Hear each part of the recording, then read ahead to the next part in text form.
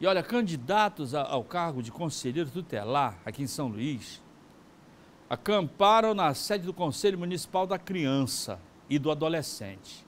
Eles reclamam do processo de escolha, né? As eleições é, já estão marcadas para o mês que vem.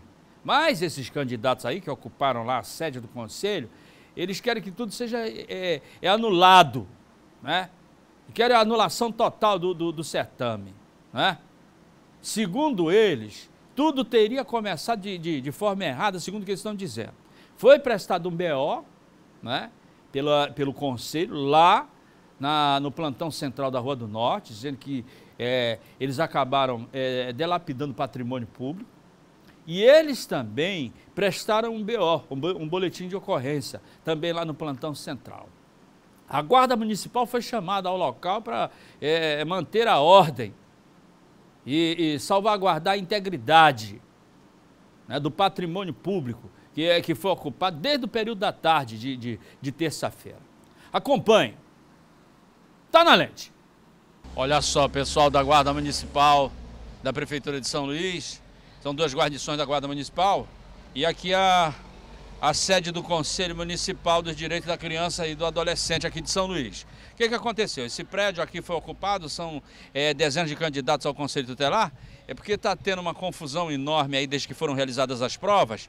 E aqui, é, esses candidatos aqui, eles estão pedindo a anulação. Eles alegam que foi processo todo irregular e aí por isso eles estão é, pedindo a anulação completa do certame. Aqui o prédio já está ocupado, eles dizem que vão, não vão sair daqui. Né? Já tem uma ocorrência que está é, registrada lá no plantão central ali da Cajazeira. E aí o pessoal daqui também eles mandaram registrar também um BO, um boletim de ocorrência. É, Silvano, nós, nós aqui estamos ocupando o Conselho Municipal desde 2 horas da tarde de ontem é, num um, um movimento pacífico, onde a gente não vai depredar o patrimônio público, a ordem é manter a paz, mas também no diálogo para que possamos encontrar uma solução sobre o processo de escolha municipal de conselheiros tutelares em São Luís. Todos os candidatos, todos que fizeram a inscrição, a inscrição, o curso de capacitação, participe do processo de escolha, que quem escolhe o conselheiro não é a prova da Fundação Sousandrade, mas sim a, o povo, quem sim o voto que elege os cinco mais bem votados para representar o conselho tutelar nas suas áreas. Então, por isso, e o processo não tem, Silvan, segurança jurídica, ficou um processo é, sem lisura, sem a segurança jurídica, ninguém tem credibilidade desse processo de escolha é, formado aqui pelo Conselho Municipal, atualmente em São Luís. Nós não estamos aqui é, tratando de nada que venha agredir ninguém. O que nós buscamos é que amanhã, qualquer que seja o horário, o Ministério Público, a doutora é, Eliana Azor, é, a Câmara Municipal, representada pelo Raimundo Penha, é, o, o, Conselho Municipal, e que possa estar discutindo, essa, a Fundação Souzana, discutindo essa questão que se chama Celeusma. Os colegas vão me ajudar. A área do São Cristóvão ter quantos candidatos? Seis. Seis. São Francisco tem quantos candidatos? Oito. É, e, e o outro que tem menos, menos candidatos? Zona Rural. É, é uma agressão à resolução 170 do artigo 13, a qual diz que o CMDCA deve fazer o quanto for para fazer para que haja o maior número de candidatos. Isso quer dizer cinco eleitos e automaticamente o seu respectivo suplente. O que a sociedade não vai aceitar é que seja gasto dinheiro público e que como a Raimundinha falou, pessoas que tratam com a questão da infância, posso buscar destratar essas pessoas que todos são capacitados, porque tem para ser candidato a conselho tutelar a sua idoneidade tem a sua certidão negativa e nós não vamos aceitar. Porque quem milita na área da infância não pode aceitar um processo desse que está altamente, quase que comprometido em que, você sabe, vou te dar dois exemplos aqui. Uma criança, para viajar em qualquer lugar do Brasil, ela viaja com conselheiro tutelar, mas não viaja com juiz nem promotor. Outro exemplo, em uma UTI neonatal, Está o pai e a mãe. Lá quem tem acesso, conselheiro tutelar. Vejo só a grandeza, a relevância do que é ser conselheiro tutelar. A gente quer que a área Itaquibacanga e as outras áreas escolham o seu legítimo representante, principalmente que vai tratar de direito de criança e de adolescente. Pois é, pois é. Vamos continuar falando sobre esse assunto, não é? Eu recebo aqui A Janicelma Fernandes, que é presidente da comissão do processo de escolha dos conselheiros tutelares aqui da capital. Janicelma, por favor. De mais nada, obrigado mais uma vez por você ter vindo aqui. Bom dia. Bem, obrigado. Janicelma, senta aí, por favor, fica à vontade. Bom, você ouviu, já estava aqui nos bastidores assistindo, não é? Sim. O relato feito por essas pessoas aí que ocuparam a, a sede do conselho. E aí, qual a razão que eles têm? Olha, razão do ponto de vista legal, não há qualquer é, razão que justifique. Obviamente que a manifestação no nosso país, em qualquer lugar, ela é livre, porém não há qualquer direito dessa manifestação, porque os candidatos que fizeram essas etapas não foram aprovados na prova, inclusive alguns que fizeram duas vezes. É, todo o processo. Teve gente que repetiu? É, teve gente que repetiu, fez a prova na primeira etapa e não tivemos candidato, fez agora nessa segunda reabertura e também não conseguiram êxito. E é importante ressaltar, vendo a matéria e também acompanhando a discussão dos, dos, candidatos, é dizer que não há segurança jurídica. A prova, inclusive, é parte dessa etapa. Tem uma lei municipal, a resolução do CONANDA, que foi citada, ela diz da necessidade da aplicação da prova, e aí essa é uma falácia de dizer que não há segurança jurídica.